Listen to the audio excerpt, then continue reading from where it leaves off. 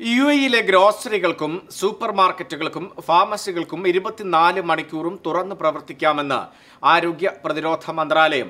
ഇത്തരം സ്ഥാപനങ്ങളിൽ ഉപഭോക്താക്കളുടെ എണ്ണം നിയന്ത്രിക്കും. ഉപഭോക്താക്കൾക്കിടയിൽ രണ്ട് മീറ്റർ അകലം പാലിക്കണമെന്ന് ദേശീയ ദുരന്ത നിവാരണ അതോറിറ്റി നിർദ്ദേശം നൽകി. ദുബൈയിൽ ഷോപ്പിംഗ് മാളുകൾ അടക്കമുള്ള വാണിജ്യ കേന്ദ്രങ്ങളും പച്ചക്കറി മത്സ്യ മാർക്കറ്റുകളും രണ്ടാഴ്ചത്തേക്ക് അടച്ചിടാനുള്ള തീരുമാനം ഇന്ന് പ്രാബല്യത്തിലാകും.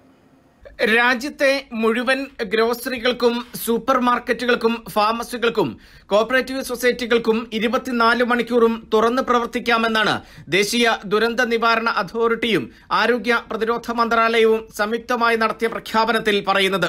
രാജ്യത്തെ ഫുഡ് ഔട്ട്ലെറ്റുകൾക്കും ദിവസം മുഴുവൻ പ്രവർത്തിക്കാം. എന്നാൽ ഇത്തരം സ്ഥാപനങ്ങൾ കൈകാര്യം ചെയ്യുന്ന ഉപഭോക്താക്കളുടെ എണ്ണം നിയന്ത്രിക്കണം. പരമാവധി ഉൾക്കൊള്ളാൻ കഴിയുന്ന ഉപഭോക്താക്കളിൽ മുപ്പത് ശതമാനത്തിന് മാത്രമായി സേവനം ചുരുക്കണം. ഉപഭോക്താക്കൾക്കിടയിൽ രണ്ട് മീറ്ററിന്റെ അകലം പാലിക്കണമെന്നും നിർദ്ദേശത്തിൽ പറയുന്നു. ഇത് ഇത്തരം സ്ഥാപനങ്ങളിൽ ആൾക്കൂട്ടം രൂപപ്പെടുന്നത് തടയും. കോവിഡ് പത്തൊൻപതിനെ പ്രതിരോധിക്കാനുള്ള ഫലപ്രദമായ മാർഗമാണിതെന്നും ആരോഗ്യ മന്ത്രാലയവും ദേശീയ ദുരന്ത നിവാരണ അതോറിറ്റിയും വ്യക്തമാക്കി. എല്ലാ സ്ഥാപനങ്ങളും ബന്ധപ്പെട്ട വകുപ്പുകൾ നിർദ്ദേശിച്ചിട്ടുള്ള സുരക്ഷാ മുൻകരുതലുകൾ സ്വീകരിക്കണം.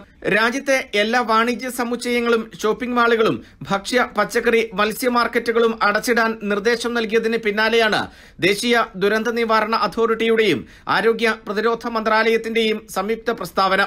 രണ്ടാഴ്ച കാലത്തേക്കാണ് ഇത്തരം സ്ഥാപനങ്ങൾ രാജ്യത്ത് അടച്ചിടുക. N T V Abu Dhabi. ജനങ്ങൾക്കൊപ്പം വാർത്തയ്ക്കൊപ്പം നന്മയോടൊപ്പം NTV UAE to the world.